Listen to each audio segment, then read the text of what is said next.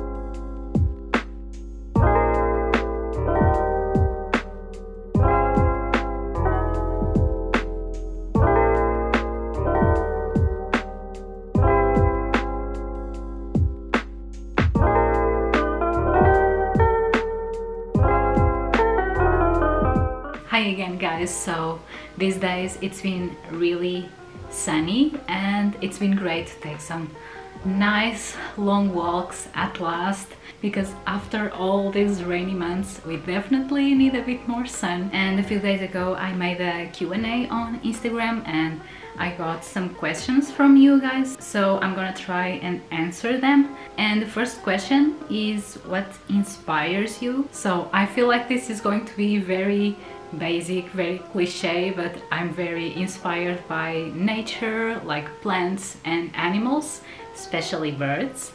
Um, and I'm also inspired by vintage stuff and also by old children's stories like Heidi and Anne of Green Gables and I'm also very inspired by teenage girls cartoons like Winx and also Witch. I like to search for inspiration on Pinterest and also on birding books because these are very great. They have a lot of photo references and it's easy to try to come up with new ideas. So the next question is how do I practice drawing cute animals and um, drawing cute animals isn't as straightforward as it might look because I like to kind of give my personal touch and style to my illustrations. So for example uh, if I'm drawing an animal that I'm not very familiar with uh, I might try to make some sort of semi-realistic sketches to really kind of understand how the shapes of that animal work, if that makes sense.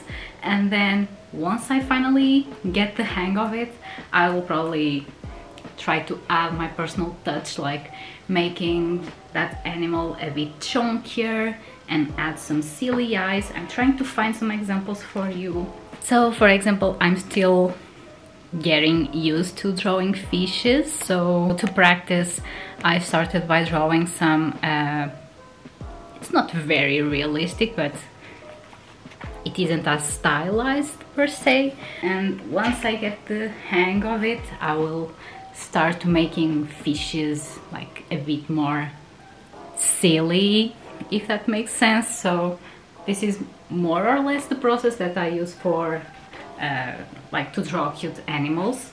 Like these are some old sketches and I sketched a lot of birds and after a while I started to add some cute hats and clothes to birdies so that's more or less my process. The next question is how do I pick the colors for my illustrations and I normally don't stick to a single color palette every time but a few years ago uh, when I was trying to be like very consistent and cohesive with my Instagram feed I remember that I was like uh, drawing random color palettes and see which ones I like the best. And I know I sort of came up with this color palette that I absolutely love which includes a lot of greens and also reds because I really like vibrant colors. But I usually like to try different ones every now and then. Like for example for summer I usually like to go for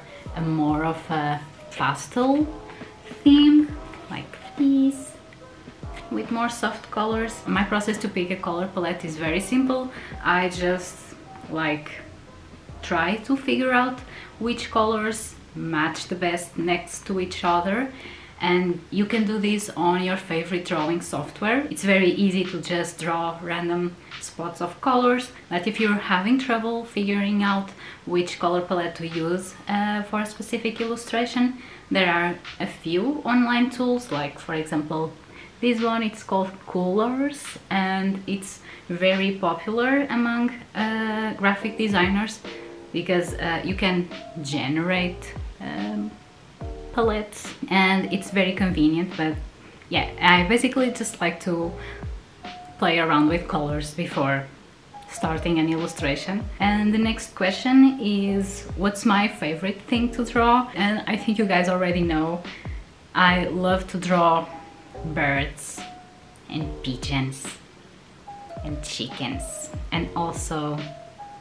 cute witches and plants. So I think those are my favorite things to be honest. And lastly, this person asked what clay do I use to make the pins uh, and necklaces and unfortunately Instagram cropped a bit of your question. Uh, I think you also asked if I could share a bit of the process. For my clay pieces, I normally use uh, Fimo polymer clay, but you can use any uh, brand of polymer clay. You also have Sculpey, for example, and there might be others, but I only know those two. Uh, and yeah, I use Fimo, and if you're not familiar with polymer clay, this is a modeling clay that you can sculpt uh, until you bake it in the oven and then it gets hard and it keeps its shape. I also want to try uh, Fimo air dry clay because it's more convenient, you don't have to use an oven but I'm not sure if the quality is the same because I know this one is very very resistant because I have um, polymer clay pieces like dropping to the floor and they never broke so I already know this one is a very good quality. And yeah my process is basically I sculpt the pieces then I bake them then sand them. I also wash them to remove all the sanding dust then I paint them with acrylics. Uh, I explained this in my last video. I don't use any expensive or fancy acrylic paints. I normally go for cheaper brands as long as they are good quality. And then after painting I let them dry and seal them with, uh, with this Fimo glossy or semi-glossy varnish because it makes your uh, clay pieces really vibrant and alive and it makes them very resistant too. So that was it for today. I hope you enjoyed this video. If you're feeling generous, feel free to subscribe and maybe like the video because it really helps. And yeah, I can't wait to share more cute art with you and I can't wait to see you soon guys. Bye!